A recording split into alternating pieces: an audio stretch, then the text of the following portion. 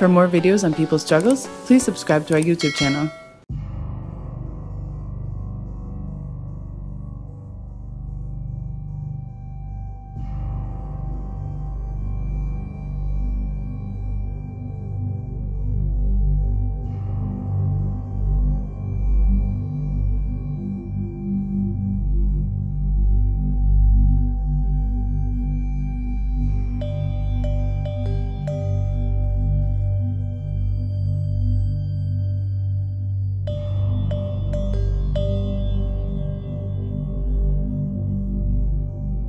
Desde o dia 25 de janeiro, nós não temos mais a nossa vida. A nossa vida está cada dia sendo destruída, destruída por essa mineradora criminosa. Sou mãe do Bruno Rocha Rodrigues, assassinado pela Vale no dia 25 de janeiro, às 12 horas 28 minutos e 30 segundos. Momento em que minha vida, a vida da minha família, a vida de 272 famílias escureceram. E aqui era, era minha horta, onde assim como junto com meu pai e meu irmão, trabalhávamos mais 11 famílias. Infelizmente a gente não consegue retomar. Vocês podem ver a nossa área está totalmente coberta. A parte que sobrou de área produtiva a gente não consegue produzir porque a gente depende de água. Um dos motivos que meu pai comprou essa área aqui é porque tinha muita água. E para trabalhar com horta a gente depende de água.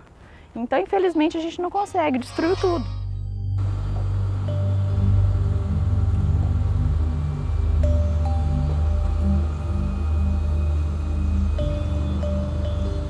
Ah, já acabou toda. Ela está acabando toda.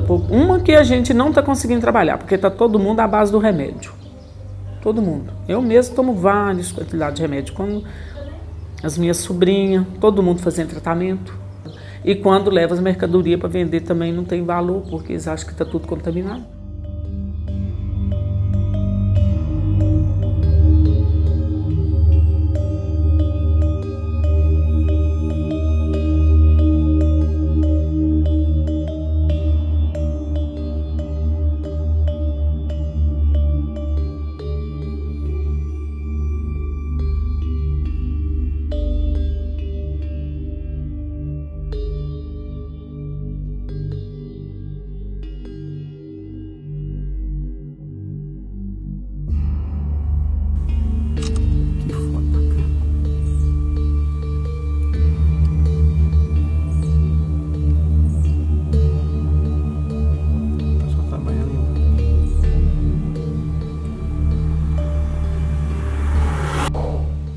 A Vale é uma instituição muito sórdida, porque quando ela está inserida no território, ela tende a tentar enfraquecer as lideranças locais, criando atrito entre os próprios moradores. É aquela política, eu indenizo uma pessoa que não perdeu parente, deixo de indenizar alguém que perdeu.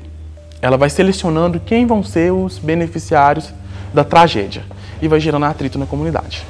É muita tristeza, sabe? Uma de nós ter perdido um parente muito próximo, que era um irmão para nós, sabe?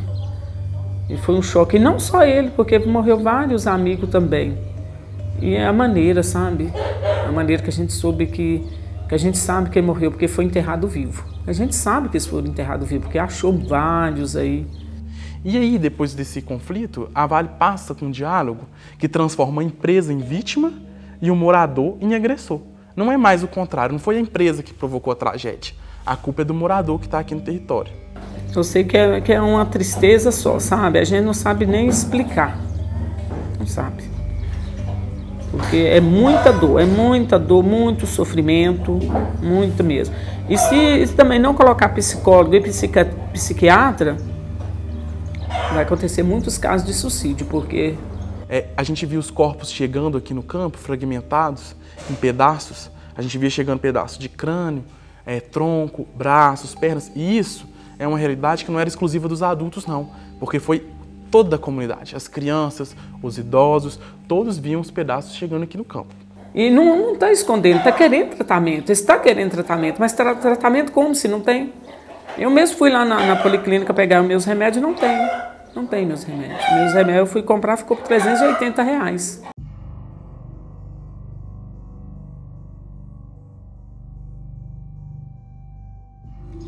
O zelo pela vida não faz parte da mineração. Onde tem a mineração, só sobrevive ela mesma.